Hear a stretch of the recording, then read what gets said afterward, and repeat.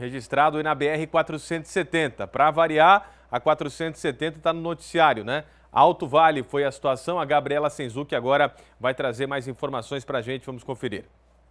Foi um acidente de trânsito envolvendo uma carreta com uma vítima que teve ferimentos e precisou ser encaminhada para atendimento médico. O caminhão saiu de pista e acabou tombando às margens da rodovia da BR-470.